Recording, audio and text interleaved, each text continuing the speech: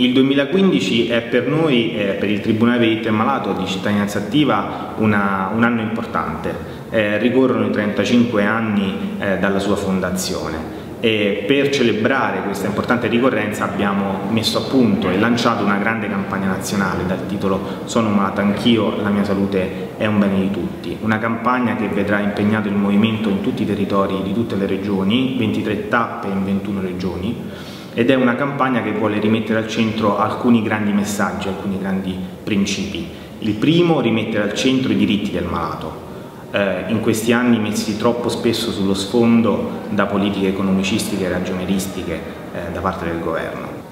L'altro secondo grande obiettivo è proteggere il servizio sanitario pubblico e, e rilanciarlo, ammodernandolo, quindi rendendolo più efficiente ed efficace. Poi però c'è anche il mettersi in discussione come cittadini, quindi lanciare anche un messaggio di responsabilizzazione del cittadino nel prendersi cura della propria salute, perché prendersi cura della propria salute vuol dire appunto mettere al sicuro se stessi, eh, aumentare la salute della collettività, ma anche prendersi cura del Servizio Sanitario Nazionale, perché è la più importante strategia per la sua sostenibilità.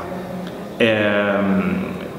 tra le strategie per la protezione e il rilancio del servizio sanitario pubblico c'è sicuramente eh, il tema che oggi affrontiamo qui eh, in questa edizione di SpreKO che è il tema dell'aderenza alle terapie. Soltanto un dato, eh, si stima che eh, i morti correlati alla mancata aderenza alle terapie sono circa 200.000 persone in Europa